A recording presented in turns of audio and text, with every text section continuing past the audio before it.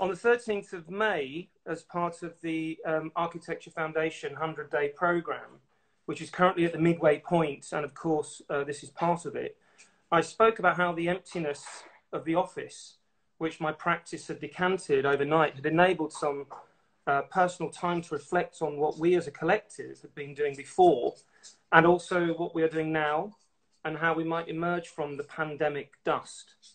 Uh, it was an epic undertaking uh, involving assembling 16 years worth of working models onto the first floor of the office into which I placed myself. Uh, it was an immersive and deeply philosophical act of personal reflection. And during this period of reflection leading up to the mini lecture, it occurred to me that the act of lockdown had in fact created the conditions for a radical reassessment of the values and truths. And in this case, the many um, being a practice, had clearly held dearly or accepted up to that point, perhaps blindly or without challenge. Now that we're free of the shackles, we could do other stuff uh, which might repair things which we've done before. So tonight's reading is an extension of the same catharsis. And in both cases, I'm seeking tools to influence outcomes for the positive, both for myself and those that um, know me and uh, work with me and uh, associate with me. So, whilst the narrative may be a little somber, I'm aiming for high jackanory uh, as we read from a classic piece of storytelling.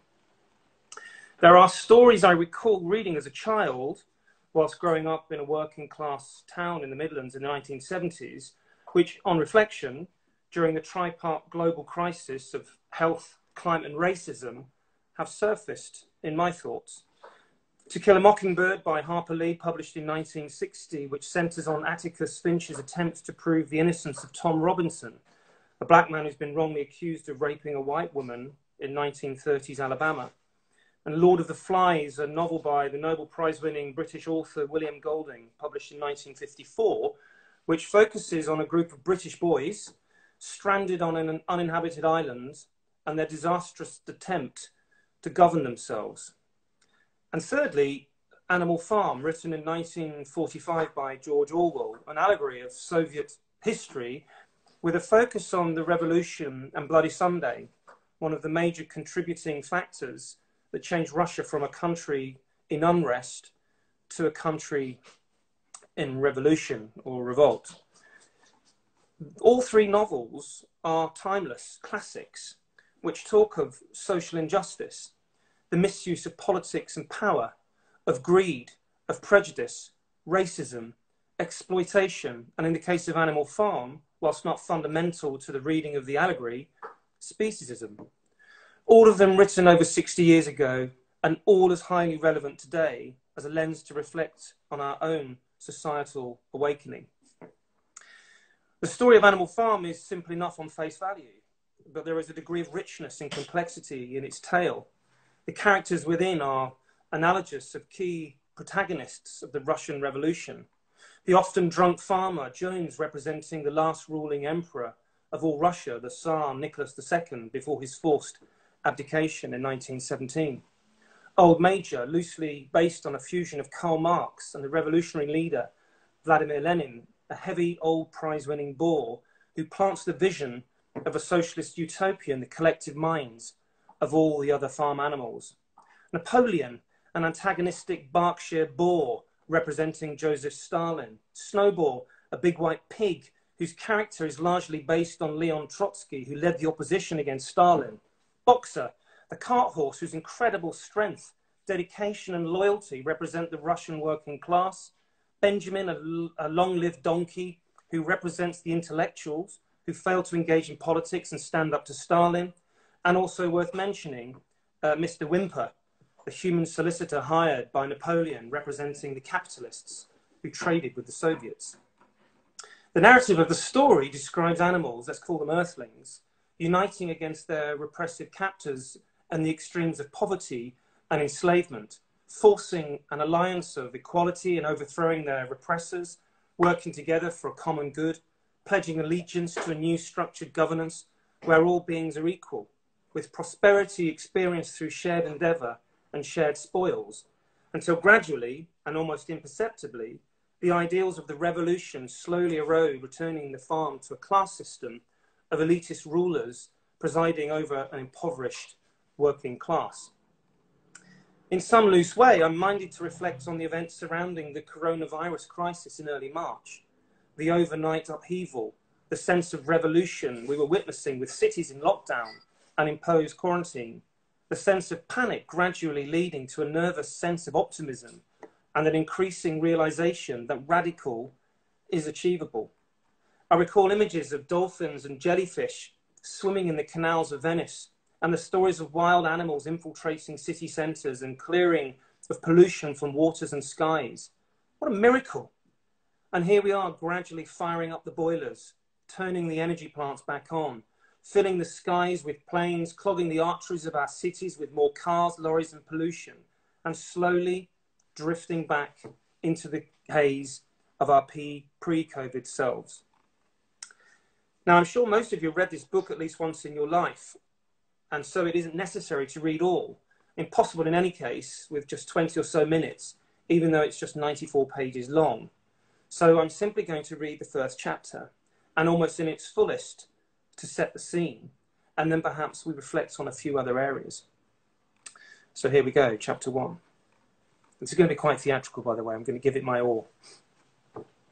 Mr. Jones of the Manor Farm had locked the hen houses for the night but was too drunk to remember to shut the pop holes. With a ring of light from his lantern dancing from side to side, he lurched across the yard, kicked off his boots at the back door, drew himself a last glass of beer from the barrel in the scullery, and made his way up to bed, where Mrs. Jones was already snoring. As soon as the light in the bedroom went out, there was a stirring and a fluttering all through the farm buildings. Word had gone round during the day that old Major, the prize middle white boar, had had a strange dream on the previous night and wished to communicate it to the other animals. It had been agreed that they should all meet in the big barn as soon as Mr. Jones was safely out of the way. Old Major, so he was called, though the name under which he had been exhibited was, get this, Willingdon Beauty, was so highly regarded on the farm that everyone was quite ready to lose an hour's sleep in order to hear what he had to say. At one end of the big barn, on a sort of raised platform, Major was already ensconced on his bed of straw, under a lantern which hung from a beam. He was 12 years old and had lately grown rather stout, but he was still a majestic looking pig, with a wise and benevolent appearance in spite of the fact that his tushes had never been cut. Before long, the other animals began to arrive and make themselves comfortable after their different fashions. First came the three dogs, Bluebell, Jessie, and Pincher, and then the pigs, who settled down in the straw immediately in front of the platform. The hens perched themselves on the window sills, the pigeons fluttered up to the rafters, the sheep and the cows lay down behind the pigs and began to chew cud. The two cart horses, Boxer and Clover, came in together, walking very slowly and settling down their vast hairy hooves with great care, lest there should be some small animal concealed in the straw. Clover was a stout, motherly mare approaching middle life, who had never quite got her figure back after her fourth foal. Boxer was an enormous beast, nearly 18 hands high, and as strong as two ordinary horses put together. A white stripe down his nose gave him a somewhat stupid appearance, and in fact, he was not of all first rate intelligence, but he was universally respected for his steadiness of character and tremendous powers of work. After the horses came Muriel, the white goat, and Benjamin the donkey. Benjamin was the oldest animal on the farm and the worst tempered. He seldom talked, and when he did, it was usually to make some cynical remark. For instance, he would say that God had given him a tail to keep the flies off, but that he would sooner have no tail and no flies. Alone among the animals on the farm, he never laughed. If asked why, he would say that he saw nothing to laugh at. Nevertheless, without openly admitting it, he was devoted to Boxer. The two of them usually spent their Sundays together in the small paddock beyond the orchard, grazing side by side and never speaking. The two horses had just laid down when a brood of ducklings, which had lost their mother, filled into the barn. cheeping feebly and wandering from side to side to find some place where they would not be trodden on. Clover made a sort of wall around them with her great foreleg, and the ducklings nestled down inside it and promptly fell asleep. At the last moment, Molly, the foolish, pretty white mare who drew Mr. Jones's trap, came mincing daintily in, chewing at a lump of sugar. She took a place near the front and began flirting her white mane, hoping to draw attention to the sort of red ribbons it was plaited with. Last of all came the cat, who looked around as usual for the warmest place and finally squeezed herself in between Boxer and Clover. There she purred contentedly throughout Major's speech without listening to a word of what he was saying, hopefully not like all of you who are listening. All the animals were now present except Moses, the tame raven, who slept on a perch behind the back door. When Major saw that they had all made themselves comfortable and were waiting attentively, he cleared his throat and began.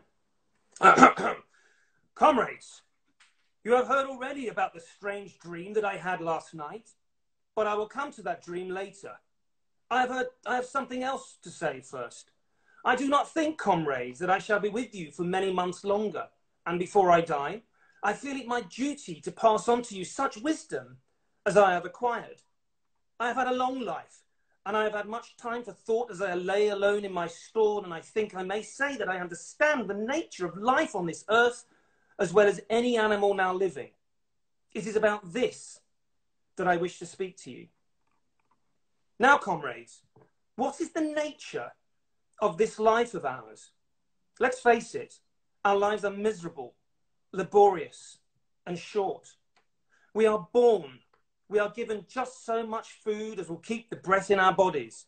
And those of us who are capable of it are forced to work to the last atom of our strength and the very instant that our usefulness has come to an end, we are slaughtered with hideous cruelty.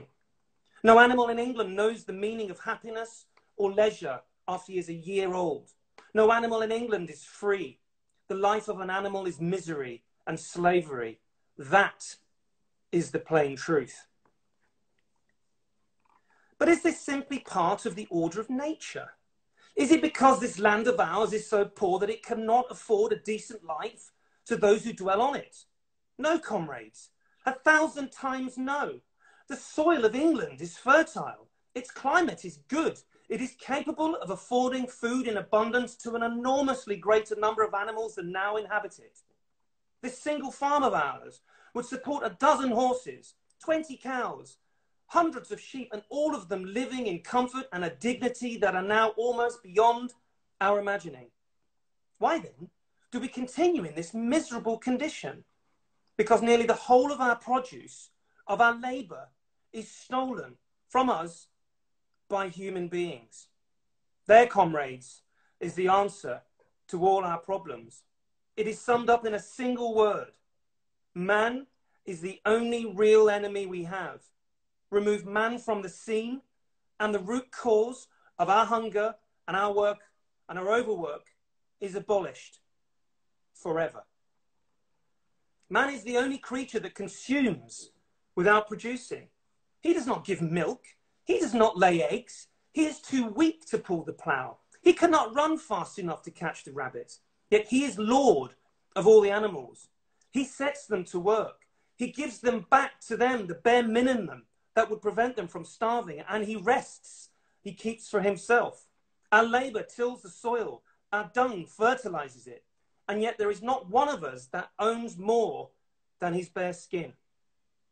You cows that I see before me, how many thousands of gallons of milk have you given during this last year? And what has happened to that milk, which should have been breeding up sturdy calves?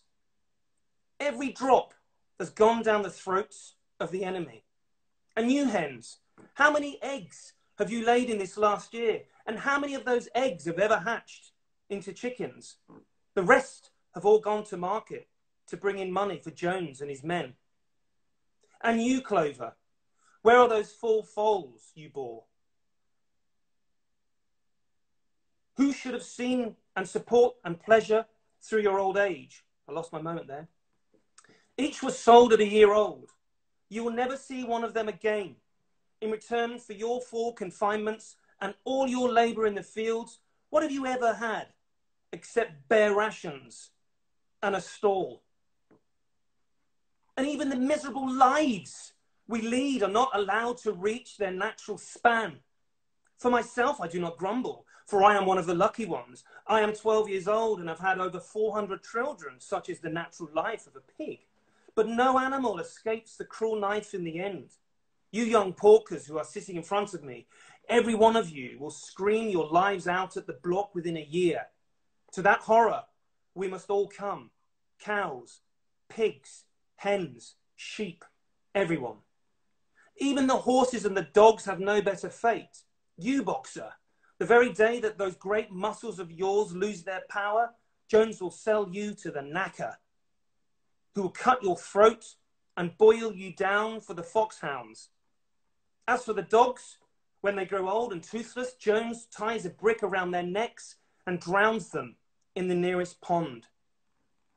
Is it not crystal clear then, comrades, that all the evils of this life of ours spring from the tyranny of human beings?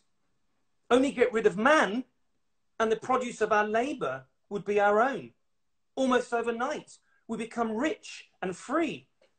What then must we do? Why? Work day and night, body and soul, for the overthrow of the human race. That is my message to you, comrades. Rebellion. I do not know when that rebellion will come.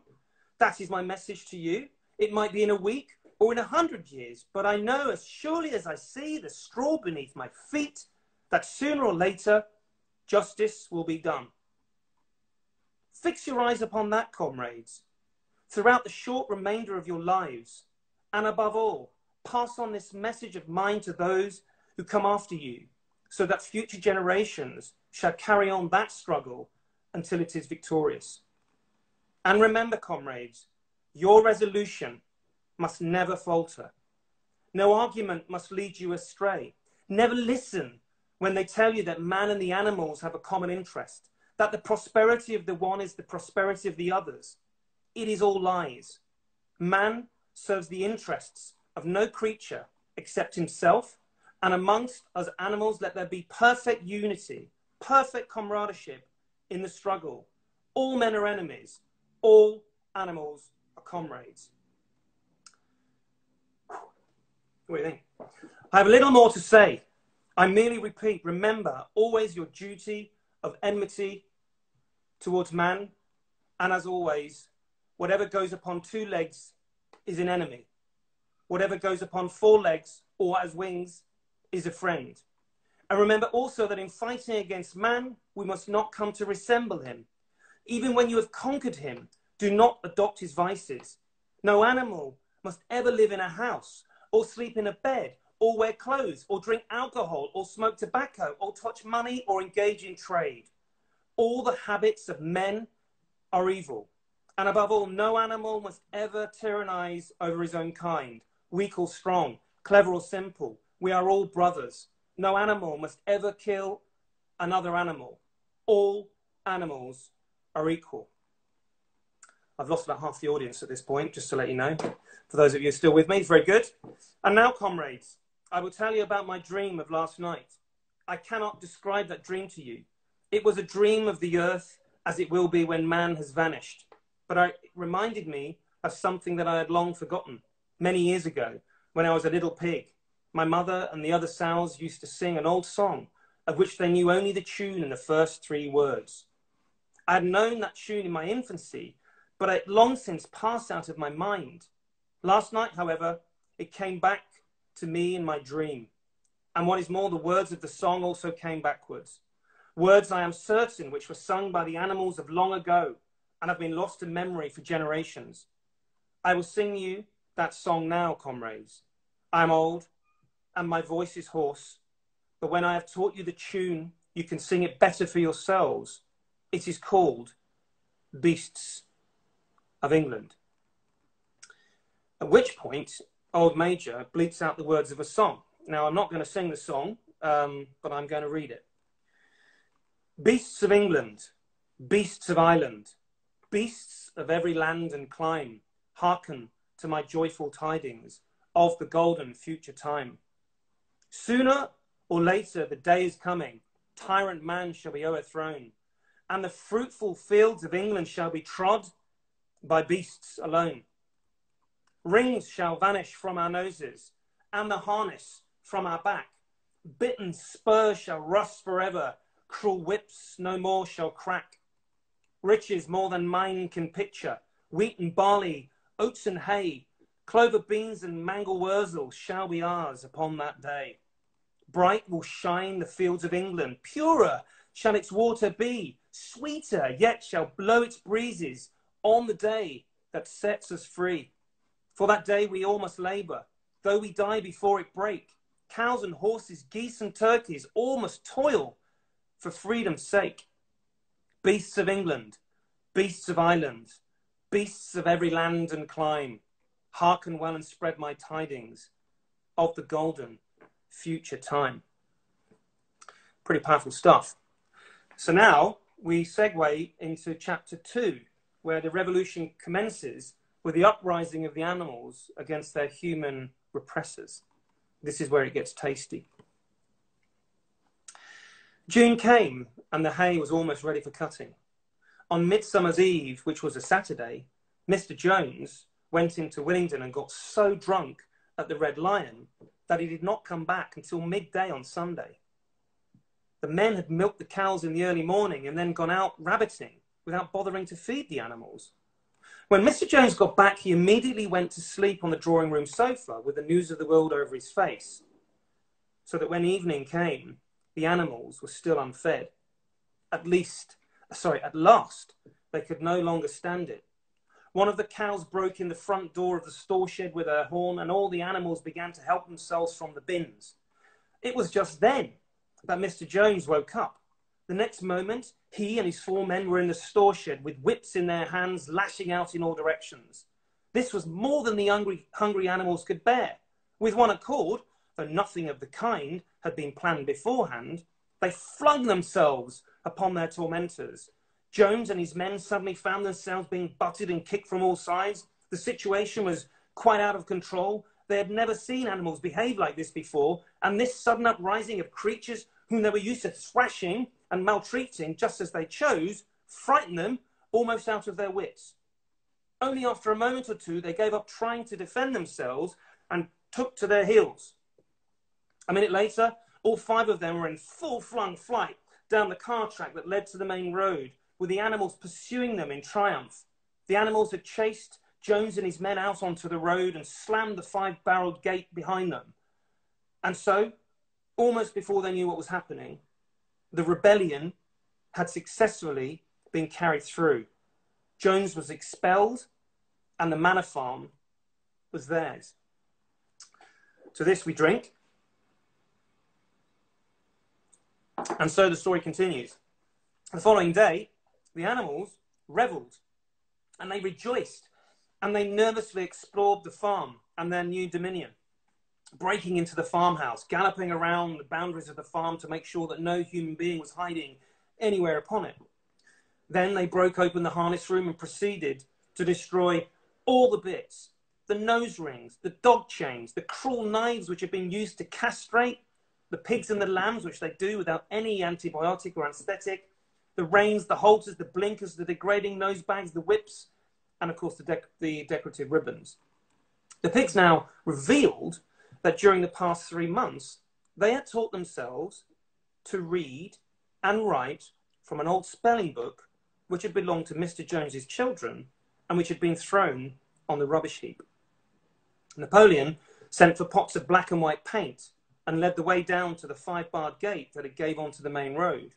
Then Snowball, for it was Snowball who was best at writing, lest we not forget, took a brush between the two knuckles of his trotter painted out Manor Farm from the top bar of the gate, and in its place, painted Animal Farm. This was to be the farm name from now onwards. After this, they went back to the farm buildings, where Snowball and Napoleon sent for a ladder, which they caused to be set against the end wall of the big barn. They explained that by their studies of the past three months, the pigs had succeeded in reducing the principles of animalism to seven commandments These seven commandments would now be inscribed on the wall. They would form an unalterable, bold letters, law by which all the animals on Animal Farm must live for ever after. With some difficulty, for it is not easy for a pig to balance himself on a ladder, Snowball climbed up and set to work, with Squealer, a few rungs below him, holding the pen pot, paint pot. The commandments were written on the tarred wall in great white letters that could be read 30 yards away. They ran thus. Number one, whatever goes upon two legs is an enemy. Number two, whatever goes upon four legs or has wings is a friend. Number three, no animal shall wear clothes. Number four, no animal shall sleep in a bed. Number five, no animal shall drink alcohol. Number six, no animal shall kill any other animal. And most importantly, number seven, all animals are equal. We're nearly there, guys. And so the story continues the pigs gradually taking residence in the farmhouse, sleeping in the deserted beds, wearing clothes, eating at the tables, doing less and less work whilst the other animals toil and struggle in the fields, working longer hours and being fed less. And of course, in so doing, the pigs gradually break each of the commandments, one at a time, amending the core message of each for their own benefit. For example, Commandment 4 is articulated with an additional emphasis identifying the use of sheets as the critical act. Or in Commandment 5, it isn't drinking alcohol, which is bad, just drinking in excess. And so on. And of course, the pigs impose increasing tyrannical rule over the other animals, eventually forcing them to build a windmill, which, far from delivering the animals better lives as promised, it simply is intended to earn the pigs more money and thus increase their power.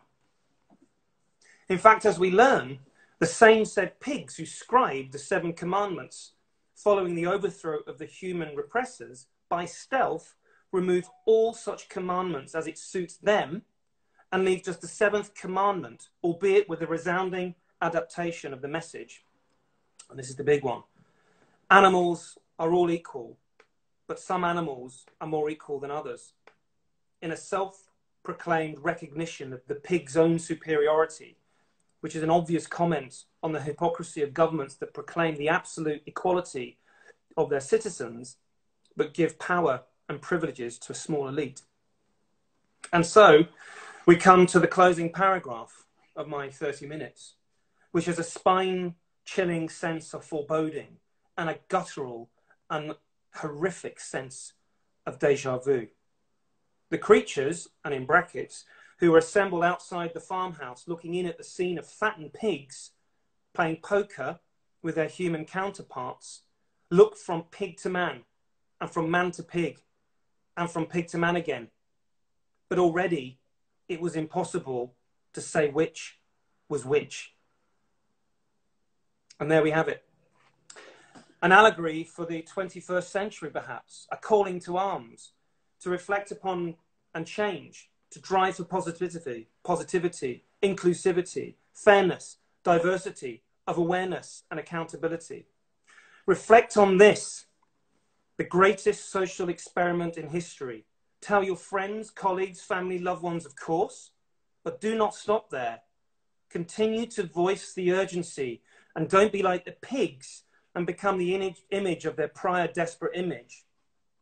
I hope four legs good, and perhaps with the right focus, two legs good also.